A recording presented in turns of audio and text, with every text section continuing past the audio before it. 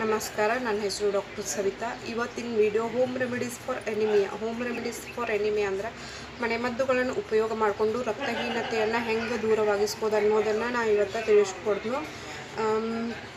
ಈಗಿನ ಸಿಚುವೇಶನ್ ಅಂದ್ರೆ current Covid situation ಒಳಗೆ ಏನಂದ್ರೆ ಆರೋಗ್ಯ ಇದ್ರೆ ಎಲ್ಲ ಇದ್ದಂಗೆ ಅನ್ನೋಂಗಾಗೈತಿ, ಆರೋಗ್ಯವೇ ಭಾಗ್ಯ ಅನ್ನೋಂಗಾಗೈತಿ.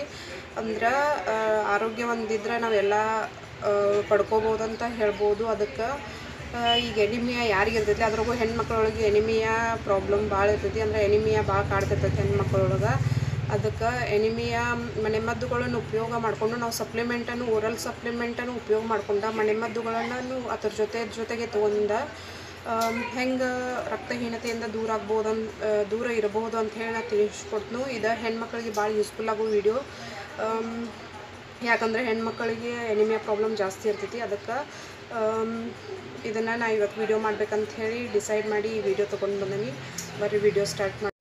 ಎನಿಮಿಯಾ ಮತ್ತು ರಕ್ತಹೀನತೆ. ಫಸ್ಟ್ ಎನಿಮಿಯಾ ಅಂದರೆ ಏನಂದ್ರೆ ರಕ್ತಹೀನತೆ. ರಕ್ತಹೀನತೆ ಅಂದ್ರೆ ರಕ್ತದೊಳಗಿನ ಕೆಂಪು ಕಣಗಳು ಕಮ್ಮಿ ಆಗೋದನ್ನು ರಕ್ತಹೀನತೆ ಅಂತ ಹೇಳಿ ಅಂತಾರೋ ಅಥವಾ ಎನಿಮಿಯಾ ಅಂತಾರೋ.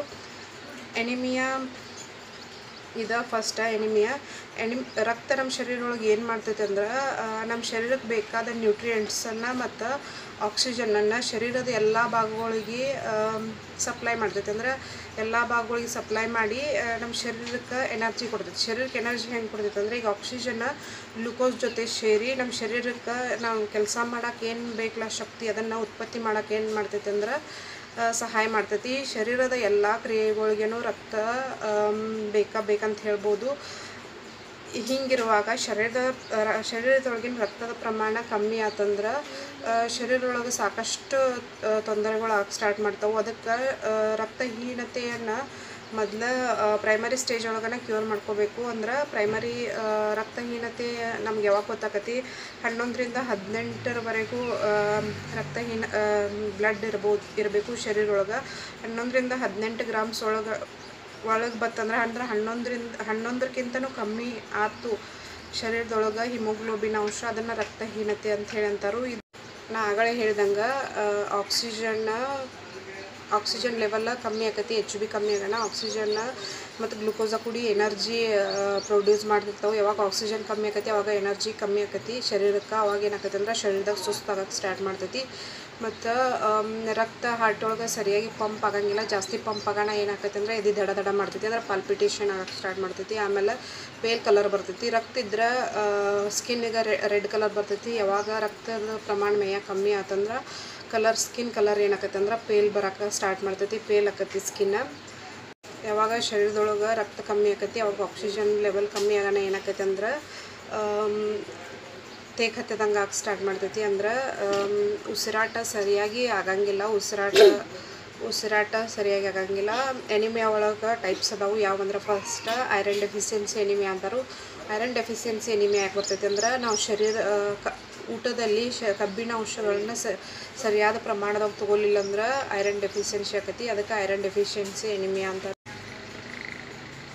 ನೆಕ್ಸ್ಟ್ ಏನಂದ್ರೆ ಬ್ಲಡ್ ಲಾಸಿಂದ ಎಣಿಮೆ ಆಕತಿ. ಬ್ಲಡ್ ಲಾಸಿಂದ ಹೆಂಗಂದ್ರೆ ಈಗ ಆಕ್ಸಿಡೆಂಟ್ ಇರ್ಬೋದು ಅಥವಾ ಪೈಲ್ಸ್ ಇರ್ಬೋದು. ಕೆಲವೊಬ್ರಿಗೆ ಬ್ಲೀಡಿಂಗ್ ಫೈಲ್ಸ್ ಇರ್ತೈತಿ. ಅದ್ರಿಂದ ಬ್ಲೀಡಿಂಗ್ ಆಗೋಣ ಏನಂದ್ರೆ ಎಚ್ ಬಿ ಕಮ್ಮಿ ಆಕಿರ್ತೈತಿ ಅಂದರೆ ಹಿಮೋಗ್ಲೋಬಿನ್ ಕಮ್ಮಿ ಆಕಿರ್ತೈತಿ. ಮತ್ತು ಕೆಲವೊಮ್ಮೆ ಆಕ್ಸಿಡೆಂಟ್ ಒಳಗೆ ಹಿಮೋಗ್ಲೋಬಿನ್ ಕಮ್ಮಿ ಆಕತಿ. ಬ್ಲೀಡಿಂಗ್ ಆದಮೇಲೆ ಅದೊಂದು ಟೈಪ್ ಅಂತ ಹೇಳ್ಬೋದು. ನೆಕ್ಸ್ಟ್ ಹಿಮೋಲೈಸಸ್ ಅಂತ ಹೇಳ್ಬೋದು. ಹಿಮೋಲೈಸಸ್ ಅಂದ್ರೆ ರಕ್ತದೊಳಗೆ ಏನು ಕೆಂಪು ರಕ್ತ ಕಣಗಳು ಅಂತ ಹೇಳ್ತಿಲ್ಲ ಆರ್ ಬಿ ಸಿ ಅಂತ ಏನು ಹೇಳ್ತು ಇವ ಲಘು destroy ಆಕವು. R B C life span ಏನಂದ್ರೆ ಒನ್ ಟ್ವೆಂಟಿ ಡೇಸ್ ಇರ್ತೈತಿ. ಒನ್ ಟ್ವೆಂಟಿ ಡೇಸ್ಗಿಂತ ಮುಂಚೆನ ಅವು ಏನಂದ್ರೆ ಡಿಸ್ಟ್ರಾಯ್ ಆಗಿ ಸ್ಟಾರ್ಟ್ ಮಾಡ್ತಾವೆ ಅವಾಗ ಎಚ್ ಬಿ ಲೆವೆಲ್ಲ ಕಮ್ಮಿ ಆಗಿ ಸ್ಟಾರ್ಟ್ ಮಾಡ್ತೈತಿ.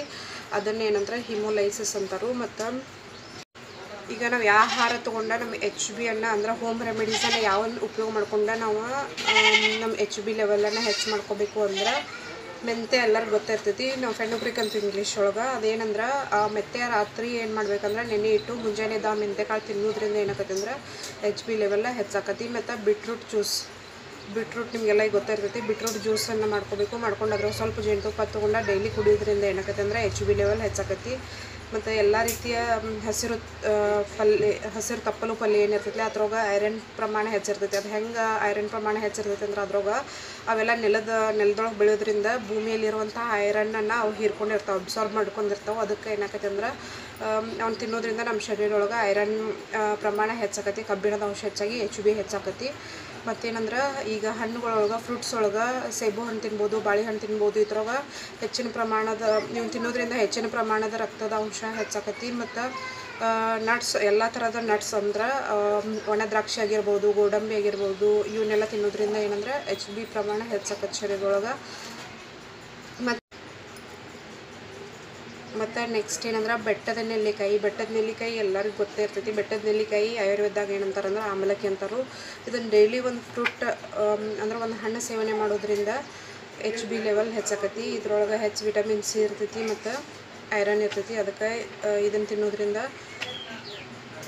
ಹೆಚ್ಚಾಕತಿ ಎಚ್ ಬಿ ಮತ್ತು ಆಯುರ್ವೇದೊಳಗೆ ಲೋಹಾಸವ ಅಂತೇಳಿ ಸಿಗ್ತೈತಿ. ಲೋಹಾಸವ ಇದನ್ನು ಎರಡರಿಂದ ಮೂರು ವಾರ ತಗೋದ್ರಿಂದ ಎಚ್ ಬಿ ಲೆವೆಲ್ ಹೆಚ್ಚಾಕತ್ತೆ ಅಂತ ಹೇಳ್ಬೋದು. ಇವನ್ನೆಲ್ಲ ತಗೊಂಡ ನಮ್ಮ ಶರೀರದ ಏನಂದ್ರೆ ರಕ್ತದ ಪ್ರಮಾಣವನ್ನು ಹೆಚ್ಚು ಮಾಡ್ಕೋಬೋದು ಅಂತ ಹೇಳ್ಬೋದು. ಇವತ್ತಿನ ವಿಡಿಯೋ ನಿಮ್ಗೆ ಇಷ್ಟ ಆಗಿದ್ರೆ ನನ್ನ ಚಾನಲ್ಗೆ ಸಬ್ಸ್ಕ್ರೈಬ್ ಮಾಡಿರಿ ನನ್ನ ನನ್ನ ವಿಡಿಯೋ ಲೈಕ್ ಮಾಡಿರಿ ಶೇರ್ ಮಾಡಿರಿ ಕಮೆಂಟ್ ಮಾಡಿರಿ. Thanks for watching